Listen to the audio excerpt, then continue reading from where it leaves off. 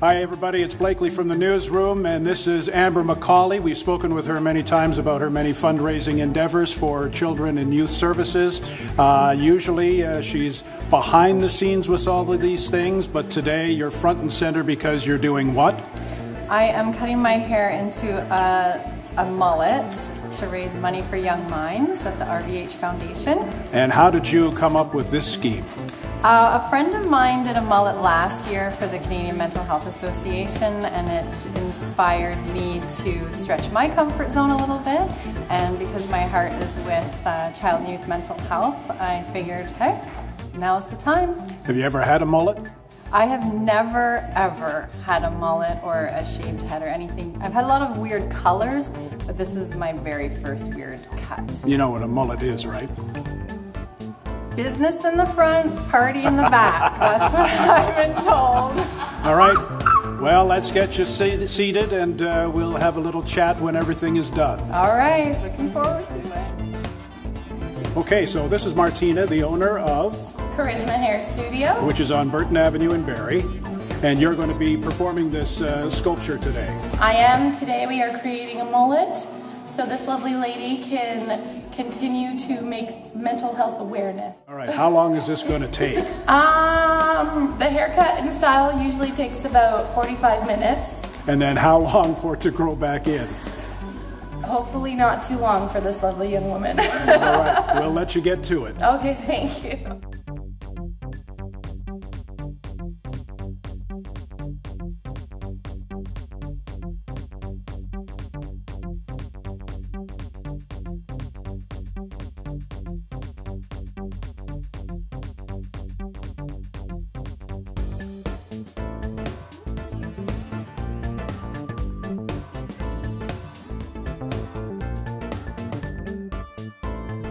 All right, so what do you think? March I, mullet? I think it's perfectly imperfect. That's what I'm going to say. But this was a big part of the deal as far as uh, raising funds. committed. Yep. You were committed to it. You went through with it. How Yep. nervous were you sitting there getting it done? Pretty nervous. I haven't cut my hair for years in such a drastic way. But Martina did a good job. She did. She made it look, you know, good enough that it's bad enough that it'll raise a lot of awareness and money and attention, and that's that's exactly And she's what going to help. She's going to help you fix it at the end of all yes, this. she is. Yes, she is. All right. So, what is this for again?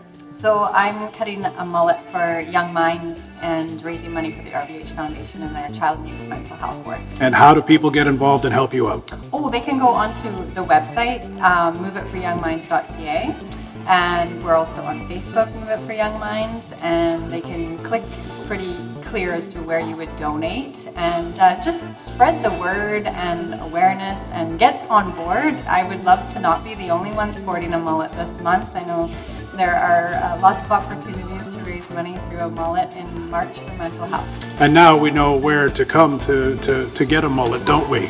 Yeah, I'm just that good at mullets. That's right. And uh, give, give us the location again. 199 Burton Avenue. All right. Thanks very much. You, No did, you did a great job. Thanks, We'll, everyone. we'll look forward to the repairs. It's gonna be